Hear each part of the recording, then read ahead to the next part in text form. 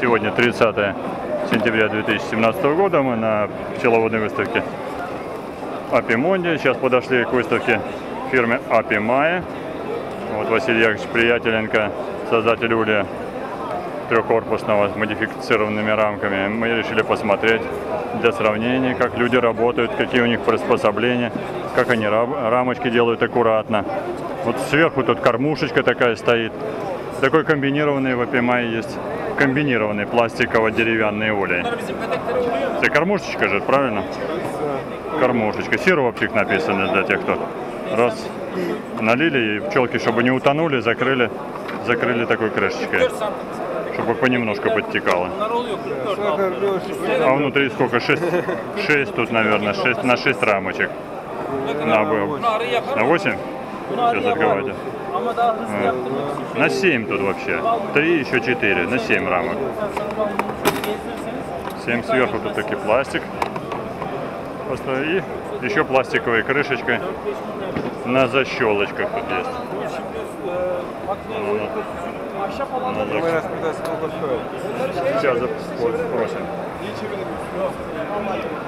Сейчас спросим у менеджера, какая цена. Can you, I'm sorry. And what is the price for this five and for this five? Like, They're not giving prices out here. Where are you from? uh, we are from Ukraine. Yeah, if you email them after the show, then they'll give you prices. Yeah, just to be to be correct. Commercial prices in catalog. Yeah, Yeah, right, right. They're not giving out prices at the show. Yeah, right, right. Because it's variable. It's variable. Yeah, yeah, according to where you are. shipping costs for different countries. Absolutely, absolutely. So uh, they'll There's a contact form on the back of Yeah, some of the thank you. forms. Because here this is a combination. This is plastic one, and this is combination wooden and plastic Yeah. all, together, all together. And this one, this is kind of like a nucleus for small, small uh, colony. Yeah. We, I, I just got English one. we just sell the plastic ones in the UK. Right. Ah, right. I see. But do we create also just like a multi-story beehive, or this is only one story beehive? No, you can go as high as you like. Can be Yeah. as, as Supers well. on top. So And you can have shallow supers Yeah. or large Oh, supers. yes, here in the basement, just with deep one, and just uh, on the top will be shallow Yeah. deeper. Yeah.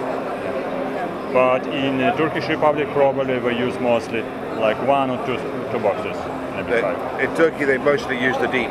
Just a deep one. Yeah. In England, they mostly use the shallow. Ah, right. Yeah. In a super, super part. Yes. Yeah. Yeah, I see, I see. But, but how do people say, uh, what, re- which region uh, the most productive here in Turkish Republic? Probably uh, the northern part with the forester area, you know, a different. A different. Down in the south, down near In the uh. Muğla, they have the. In uh, Muğla? Yeah, they have the Yes. pine. One pine Pine tree honey. course. yeah, Yeah. pine honey. So, So, yeah. absolutely. These hives are double skinned with foam filling, so they're well insulated. Ah, yes, So when it comes to the extremes of weather, really hot and really cold, it keeps it more stable inside.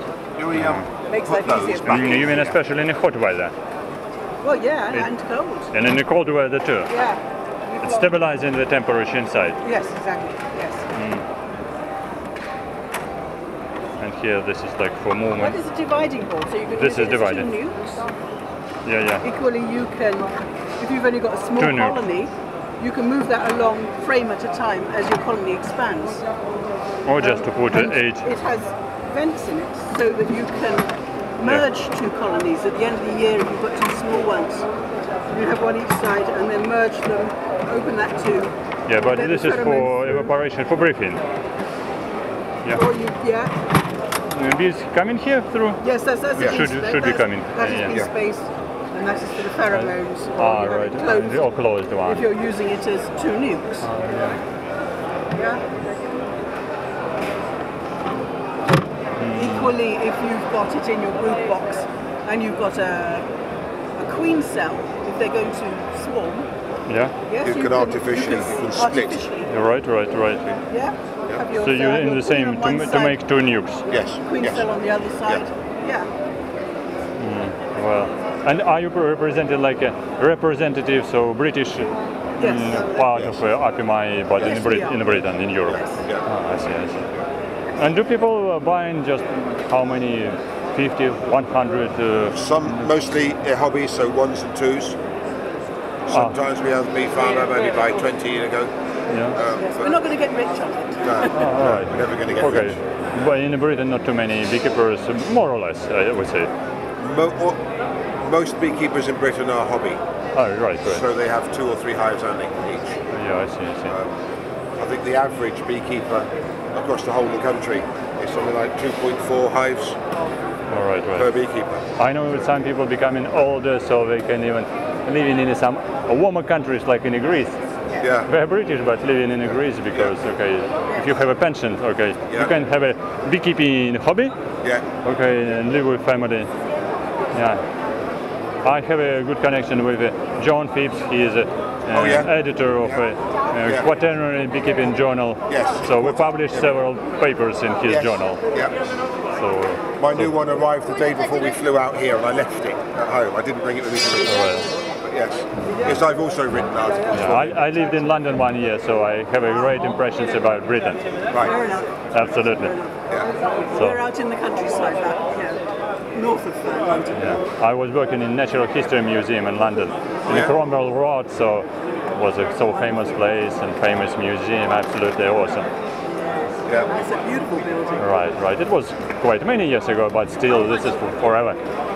Okay, thank you for short br- introduction. This is a great pleasure because we're easy to understand each other well with just Turkish English translation. That's true. Because people become a little bit shy, for them a little bit difficult to explain. But your explanation was perfect. Good, thank you. Yeah, thank you.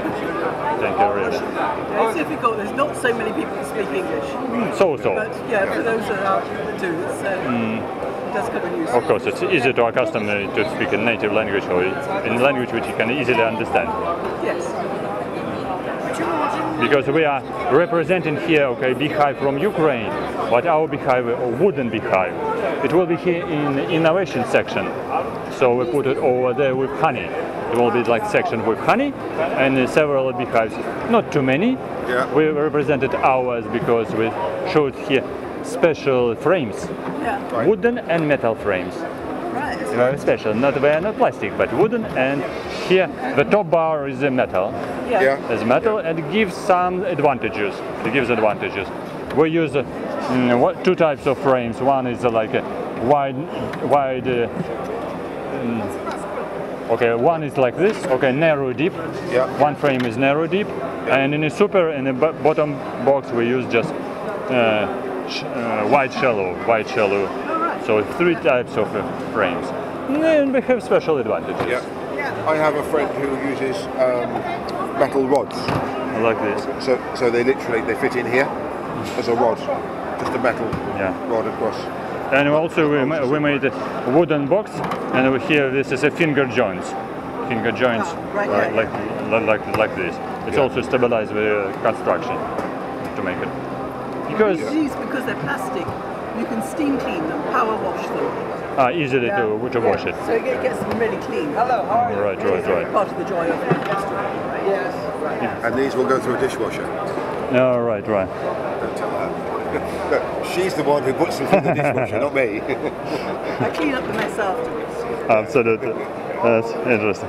Yeah, only just for uh, for majority of beekeepers, we are becoming a little bit suspicious because they say uh, plastic, plastic, uh, a little Well, bit. we've been there with the English. yeah. They're getting better now. Yeah. They've seen us around. Yeah, yeah. Yes, and they recognise us the second time, you know. Yeah. And also, uh, beekeepers were becoming more accustomed with uh, new technology, even with the use of plastic in beekeeping. Yes. Yeah. Probably I mean, there's quite a few uh, polystyrene. Yeah, in it, especially. But it disintegrates, it breaks. Uh, Right, right, because we say uh, it depends from the quality. If it is high quality plastic, it's Yeah. not so quickly disintegrated. Maybe it can be disintegrated after 50 years Yeah. or 100 years. Yeah. And it depends what is ev- evaporating from plastic.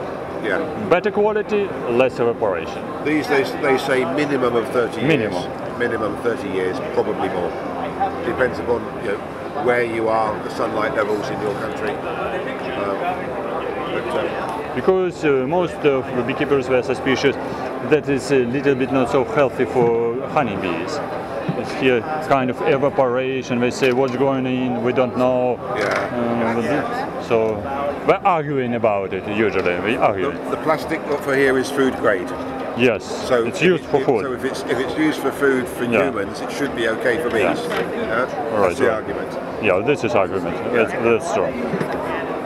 These Apimaye, the, the hives are built by Yeldin Plastic. All right, right. Yep. But he is always they've been making outdoor plastics for many years. yeah. Yeah. But always it needs to persuade people. Yes. To persuade people to explain them arguments and advantages, we say. Advantages, definitely. Thank you, thank you for presentation. Thank you, great pleasure. Thank you very much.